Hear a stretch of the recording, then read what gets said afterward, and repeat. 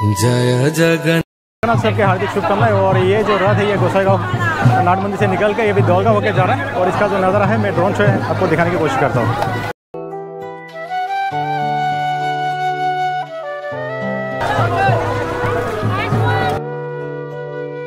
जय जगन्नाथ जय जगन्नाथ जय जगन्नाथ स्वामी जय जगन्नाथ।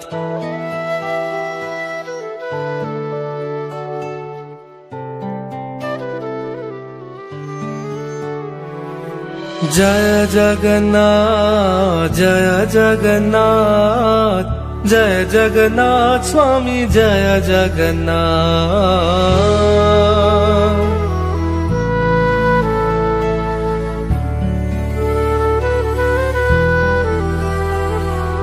जय जगन्नाथ जय जग